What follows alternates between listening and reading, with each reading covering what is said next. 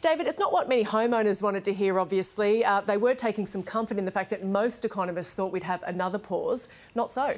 Yeah, that's right. I thought there was going to be another pause as well, you know, in reliance on what the market betting was and mm -hmm. what the mm-hmm. economists said. So uh, this has definitely come as a surprise to uh, most people out there. Uh, in fact, uh, when you look at what the major banks were saying, uh, you know, most of them were betting there would be uh, a pause in interest rate. The Commonwealth Bank was the only one that forecast there would be an increase, and it turns out they were right. And uh, when you look at money markets, there was a 90% chance uh, that rates would remain unchanged and a 10% chance of a rate hike. Turns out the 10% were correct after all. So, uh, look, I, and it's really interesting, uh, this decision, because in a sense, it looks like the Reserve Bank, I guess, is pushed back deliberately against expectations mm. they would pause. And um, they were expecting a second pause uh, in a row. That's what markets were thinking. And uh, the reason for the pause last month was because the Reserve Bank wanted to see uh, how uh, the effect of the previous interest rate hikes was taking effect, whether it was slowing down the economy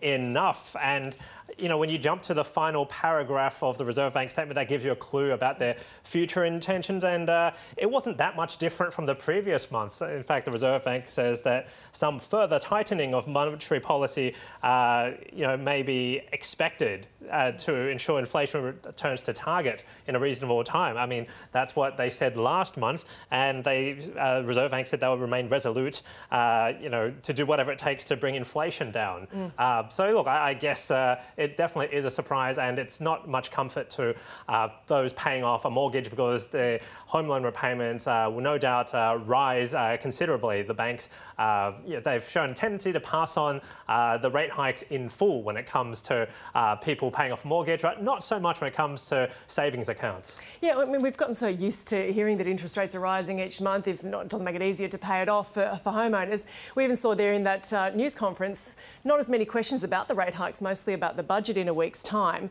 So, getting back to that pause last month, I mean, what was it? Was it just a blip in the system? Were they testing the waters? Was it too soon?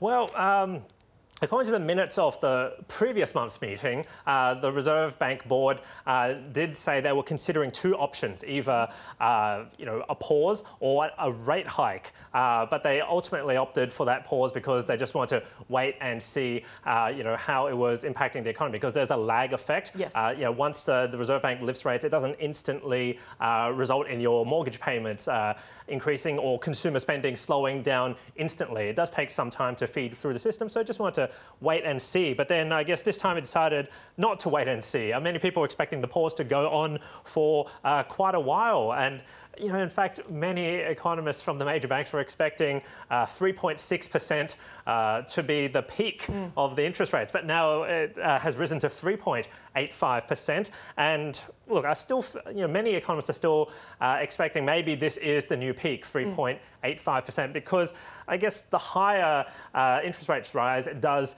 increase the chance of a recession. And that was one question uh, Treasurer Jim Chalmers was asked in that press conference just then. And, you know, by the Reserve Bank's own admission. Uh, the exact wording is saying is that, yeah, it wants to uh, achieve a soft landing for the economy, one that doesn't involve a recession, but the path to get there is a narrow one. Uh, it, I read that to mean a low probability. Mm. so with each successive rate hike, it does increase the chance of recession. But uh, I guess the comforting news is that the Reserve Bank is willing to tolerate higher inflation for quite some time. So uh, that's not expected to re uh, result in like you know big job losses anytime soon. So just quickly, Dave, how has the market reacted?